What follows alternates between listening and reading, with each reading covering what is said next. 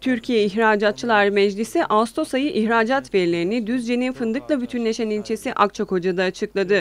Türkiye İhracatçılar Meclisi Başkanı Mehmet Büyükekşi'nin açıkladığı ihracat verilerine göre Ağustos ayında ihracat geçen yılın aynı dönemine göre %4,9 azalarak 10 milyar 482 milyon dolar oldu. Bu yılın Ocak-Ağustos döneminde de ihracat geçen yılın aynı dönemine göre %8,9 düşüşle 95 milyar 135 milyon dolara geriledi. Son 12 aylık ihracat ise %5,7 azalışla 147 milyar 947 milyon dolar olarak gerçekleşti. Ağustos ayında tarım ve sanayi ihracatı kilogram bazında %5,8 artış gösterirken toplam ihracat kilogram bazında %11,7 artış gösterdi. İlk 8 ayda ise toplam ihracatımız kilogram bazında %0,8 artış gösterdi. Türkiye İhracatçılar Meclisi verilerine göre Ağustos ayında en fazla ihracatı 1 milyar 547 milyon dolarla hazır giyim ve konfeksiyon sektörü yaparken bunu 1 milyar 363 milyon dolarla otomotiv endüstrisiyle 1 milyar 192 milyon dolarla kimyevi maddeler ve mamulleri sektörleri takip etti.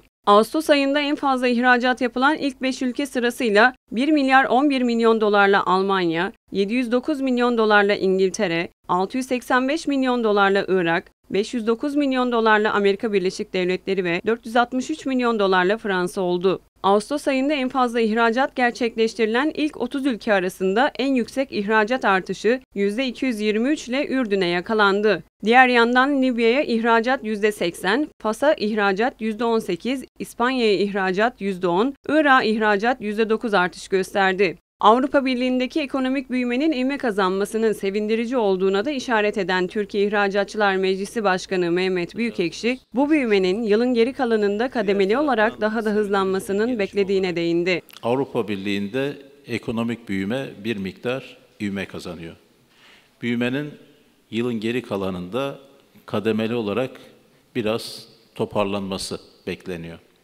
2015 yılı ilk yarısında Avrupa Birliği'nin ithalatı Euro bazında yüzde dört artarken bizim Avrupa Birliği'ne ihracatımız yine Euro bazında yüzde on iki artmış durumda. Bu ne demek? Orada onların ithalatı yüzde dört, bizim ihracatımızın yüzde on iki artması yüzde sekizlik bir pazarda daha fazla pay almışız. Bunun da özellikle altını çizmek istiyorum. Ve inşallah Avrupa Birliği pazarında yaşadığımız pazar payı artışı önümüzdeki aylarda da devam edecek diye ümit ediyoruz.